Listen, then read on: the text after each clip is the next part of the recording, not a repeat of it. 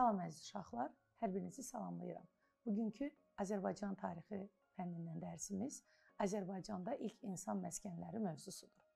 Gəlin bir düşünək görək. Ə, təsəvvür eləyin ki, siz müdafiəsiz bir yerdəsiniz. Ə, insanın vəhşi təbiətdə yaşaması üçün ilk nələrə ehtiyacı ola bilər? Gəlin bir bu barədə düşünək. Təbii ki, ilk öncə ehtiyacımız olan şey şirin su hövzələri olmalıdır mütləq şəkildə.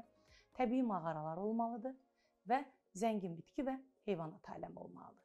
Gəlin bir düşünək görə bu üç ə, bu üç şeyə bizim niyə ehtiyacımız olsun? İnsanın ayaqda qalmaq üçün vəhşi təbiət qarşısında ə, şirin su mütləq şəkildə olmalıdır. Təbii mağaralar sığınacaq kimi olmalıdır. Zəngin bitki və heyvanat aləmi isə qədim insanların olmazsa olmazı idi. Sual verərsiniz nəyə görə? Çünki qədim insanlar ilk olaraq məhz məşğuliyyətləri yığıcılıq və ovçuluq olduğundan onlar birbaşa təbiətdən asılı idilər. Sual verərsiniz. Bəs müəllimə, nəyə görə təbii mağaralar? Mağara insanların ən qədim evləridir. Bəs gəlin görək, mağara necə yaranıb? Qədim insan necə düşünüb ki, hardan bu qənaətə gəlib ki, mağarada yaşaya bilər? Mağaralar zəlzələ və vulkandan sonra qayalıqlar içərisində meydana gəlmiş boşluqdur. Elə Qarabağda da Xocavənd rayonu ərazisində, daha dəqiq desək, Quruçayın sol sahilində yerləşən Azərbaycanda ilk insan məskəni hesab edilən Azıq mağarası da belə yaranmışdır. Əziz uşaqlar, Azərbaycan qədim təbii, zəngin coğrafi şəraiti ilə, qədim tarixi ilə məşhur olan ən qədim ən qədim insanların yaşadığı ölkələrdən biridir. Bunu ölkəmizdən tapılmış, aşkara çıxardılmış mağaralar və maddi mənbələr və abidələr də sübut eləyir. Mağara gördüyünüz kimi, şəkillərdə də, slaydlarda da gördüyünüz kimi qayaqların içərisində yaranmış oyuqlardır. Bəs insan, qədim insan buranı nə edirdi? Bunlardan ev kimi, sığınacaq kimi istifadə eləyirdi. Biz vaxtın azlığından, vaxt az olduğundan sizə ölkəmizdə mövcud olan mağaraların ancaq bir qismini göstərə bildik. Siz dərs bitən kimi dərhal sonra Google platforması üzərindən ölkəmizdə daha hansı qədim mağaraların olduğunu araşdıra bilərsiniz. Düşünürəm ki, bu hər biriniz üçün faydalı olacaq. Gəlin qaydaq Azıq mağarasına. Görək bir Azıq mağarası nədir, harda yerləşir və nəyə görə Azıq mağarası bu gün bütün tarix dərsliklərinə və kitablarına salınmışdır. Azıq mağarası əslində Azərbaycanda ən qədim insan məskəninin olduğunu sübut edən tarixi abidələrdən biridir. Onun tapıntısı ilk öncə deyim ki, Azıq uzun müddətdir ermənilər, azğın düşmənimiz tərəfindən işğal olunmuşdur və vətən torpağımız işğal altındaydı. Lakin 2020-ci ilin oktyabr ayında Rəşadətli Azərbaycan ordusu və Ali Baş Komandanımızın göstərdiyi səy nəticəsində misli görünməmiş bir 44 günlük hərbi əməliyyat nəticəsində geri alınmış və Azərbaycan öz tarixi torpaqlarına geri qayıtmışdı. Mən çox fəxr edirəm ki, bu gün qürur hissi ilə Azıq mağarasından danışanda artıq sizə deyə bilmirəm ki, ə, uşaqlar Azıq mağarası çox təəssüflər olsun ki, bu gün bizdə deyil. Çox şükür ki, bu gün Azıq mağarasındadır və bütöv tarix Azərbaycan torpaqlarında Azərbaycanın üç rəngli bayrağı dalğalanır. Buna görə isə biz Ali Baş Komandanımıza və canından qanından vətən vətən torpaqlarına görə qanından canından keçən şəhidlərimizə, qazilərimizə və bütün Azərbaycan ordusuna öz minnətdarlığımızı bildiririk. Mən burada sizə bir slayd göstərəcəm. Hansı ki prezidentimiz işğaldan azad olunan kimi elə ilk səfərini də tarixi Azıq mağarasına etmişdir. Gəlin o videoya birlikdə baxaq. Azıq mağarasına gedirik. Hələ yolumuz uzaqdır. Bu dünyanın ən qədim insanın yaşayış yerlərindən biridir. Azərbaycan tarixinə məxsusdur, bizim tarixi sərvətimizdir. Gəlin indi isə baxaq görək Azıq mağarası necə aşkarlanmışdır. Ötən əsrdə təxminən ilini deyək, 1960-cı illərdə bir çoban sürü otarırmış, qoyun keçin sürüsünü otarırmış. Birdən onun heyvanlarından bir neçəsi itir. Çoban günlərlə onu axtarır və nəhayət keçilərindən birini otluqlarla, otlaqlarla və müxtəlif ağaclarla qarşısı, keçidi bağlanmış bir mağarada tapır. Çoban çox təəssüflənir və düşünür ki, o bütün sürüsünü orada itirə bilər və biraz mağaranın içərilərinə keçir ki, görsün ki, bura nədir. Çoban biraz irəliyə getdikdən sonra görür ki, onun ətrafında ə, müəyyən bir ə, izlər var və ma mağara ona çox vahiməli və qorxulu gəlir. Dərhal kəndə qayıdır və bu barədə hamıya məlumat verir. Bu ə, kənddə yayılan bu əks-səda tezliklə təbii ki, ə, şifahi formada da olsa, biz bilirsiniz də buna şifahi mənbələr deyirdik bu arada. Azərbaycan tarixi dərsimizin birinci mövzusundadır. Şifahi də olsa gəlib Bakıya qədər çatır.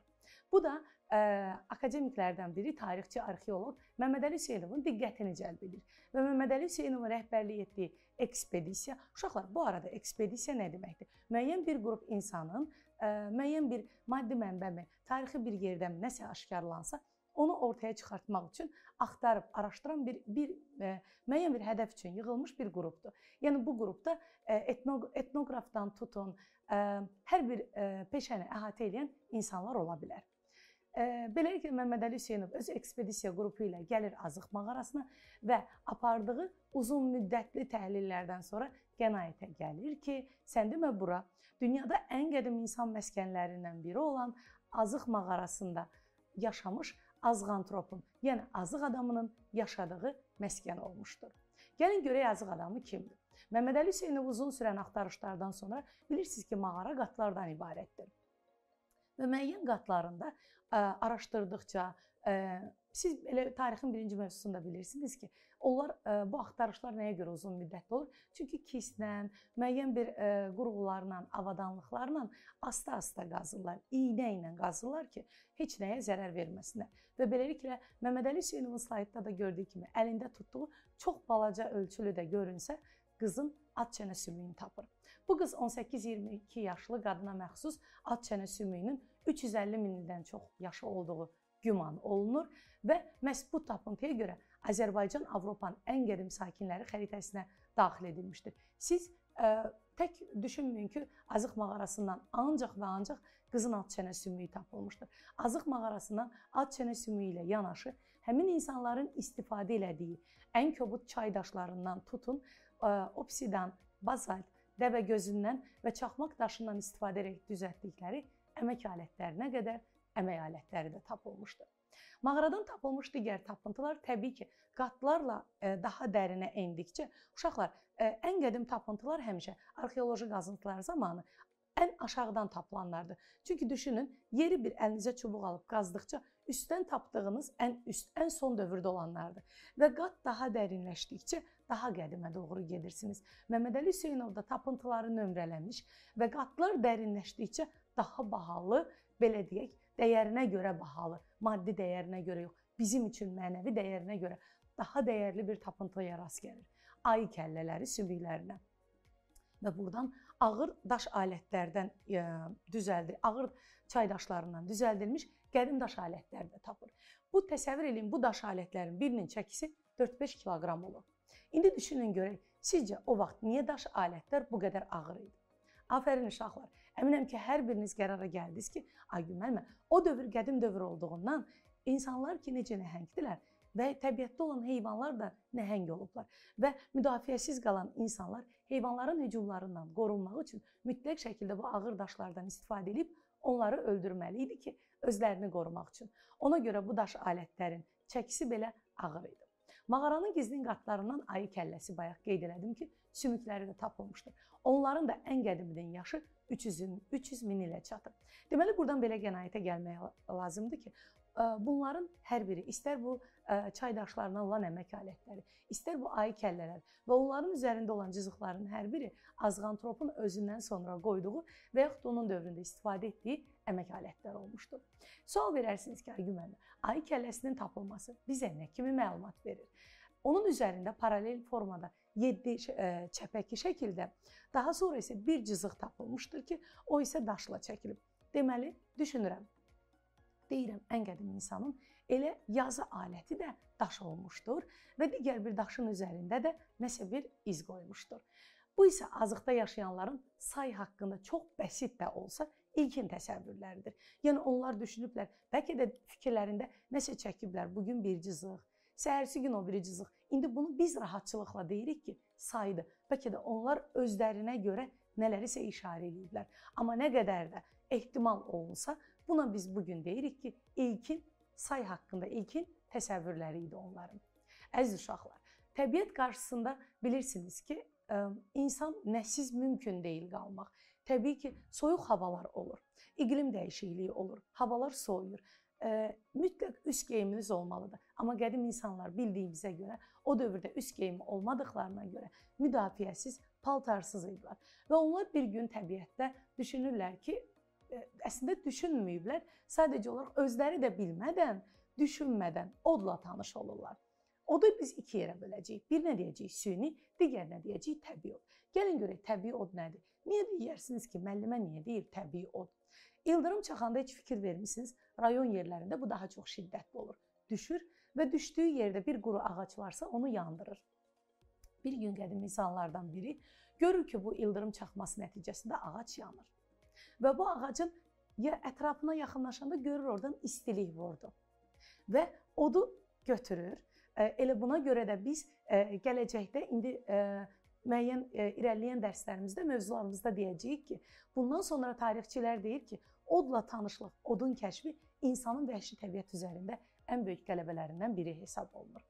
Gəlin baxaq, təbii odu necə elədi? İnsan tanış oldu odla, odu götürdü və baxdı ki, odla qaçdıqca vəhşi heyvanlar ondan uzaqlaşdı. Baxdı ki, odu ətə özlərinin öldürdüyü vəhşi heyvana mı yaxınlaşıb onun üzərində tutduqca bişmiş əti yemək daha rahatdır. Beləliklə onlar başladılar odu qorumağa. Sual verərsiniz ki, müəllimə, odu qorumaq ifadəsi nə deməkdir? Odu necə qorudu? Uşaqlar, bunu da əslində indi bəsit də olsa qədim sayla əlaqələndirəcəm. Sual verərsiniz necə?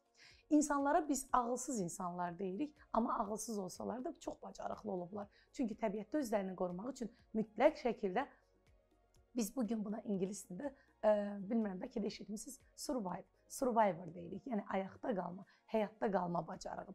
Vəhşi heyvanlardan qorunmaq üçün, qidasını əldə etmək üçün və qidasını rahat bişirmək üçün, özü isə soyuqdan qorunmaq üçün düşünür. Deyir ki, görəsən, səhərə qədər bu ocağın sönməməsi üçün mən bura nə qədər odun atmalıyam və bunu öz aralarında növbələşdirirlər. Və səhərə qədər odun sönməməsi üçün ora müəyyən sayda odun atmağa başlayırlar.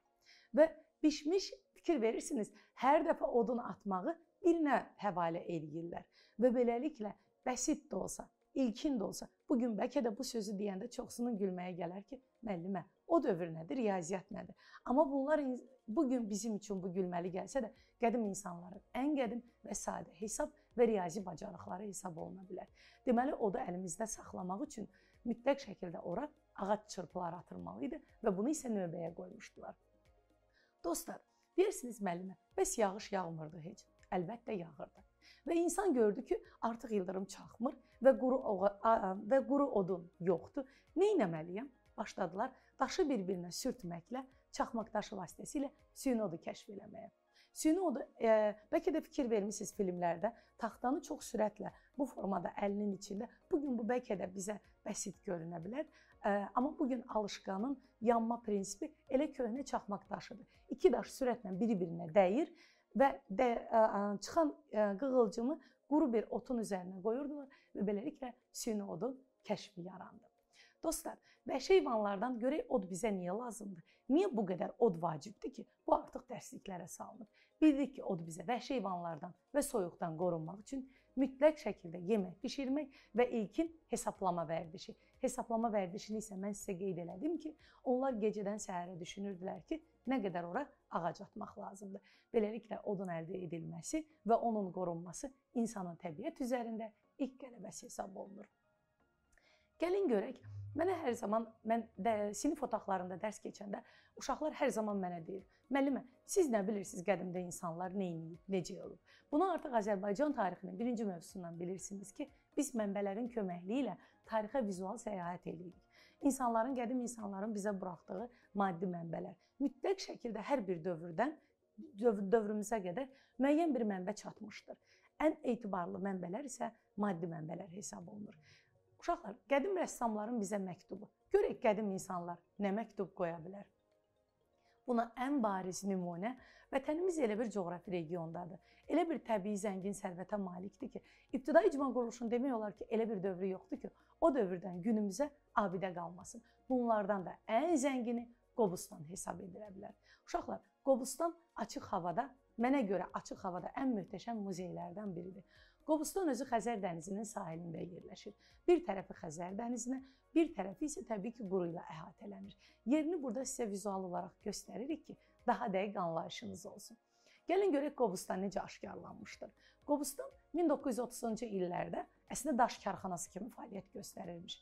Bir gün bir fəhlə ə, e, işin gedişatında çox iri bir qaya parçalarına rast gəlir və görür ki, onların üzərində eyni formalı, yəni eyni cızıqlara malik olan nəsə bir təsvir var. Bu onun diqqətini cəlb eləyir və müraciət eləyir ki, mütləq şəkildə bu daşlara baxılsın. Təbii ki, bu daşlara da baxılır və dərhal ora ekspedisiya gəlir. Baxırlar ki, uzun sürən arxeoloji qazıntılardan və işlərdən sonra baxırlar ki, sən demə bura hələ mezolit dövrünə aid, orta daş dövrünə aid Azərbaycanın növbəti demək olar ki, tarixi abidələrindən biri imiş.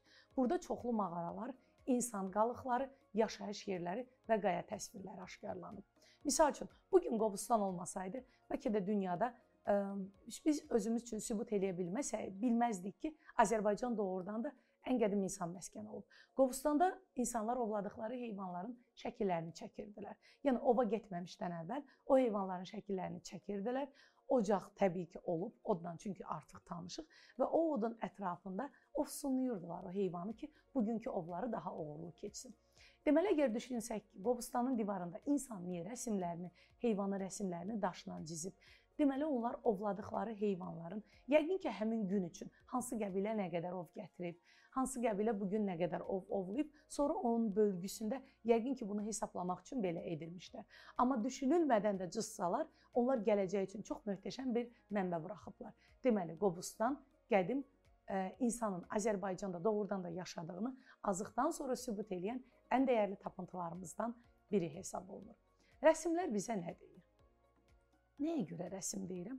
Qobustandan tapılan ə, e, divar rəsmlərinə diqqət eləsəniz, fikir verin.